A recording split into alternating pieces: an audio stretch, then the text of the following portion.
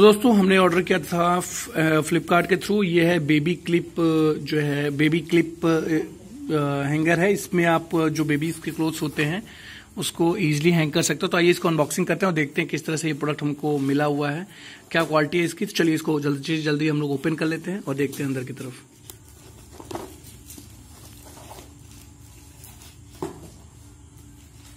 तो कुछ इस तरह से ये प्रॉपर पैकिंग है।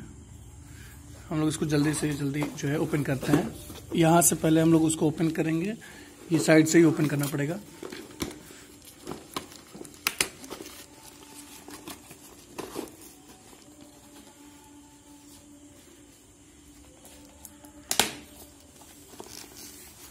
तो ये जो है कुछ इस तरह से काफ़ी टाइट इसकी पैकेजिंग है।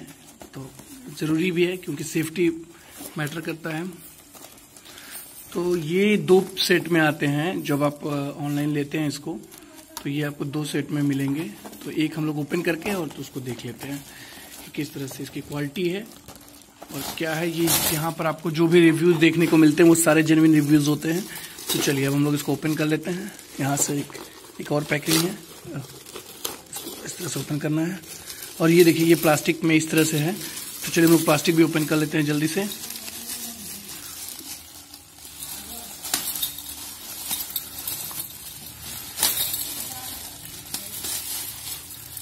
तो ये देखिए, ये बेबी क्लोथ के लिए हैंगर है, या क्लिप बोल सकते हो आप।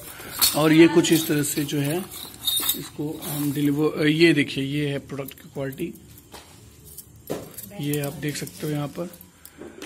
तो ये इस तरह से आप इसमें बच्चों का कपड़ा जो है इजीली हैंग कर सकते हो। बड़ों का कपड़ा नहीं डाल सकते क्योंकि टूटने का डर है, लेकिन बच्चों का कपड़ा आप इजीली इस पर डाल के पंखे के नीचे आप इसको टांग सकते हैं, जिससे कि ये सूख जाए। ये देखिए, यहाँ पर ये हैंगर दिया हुआ है।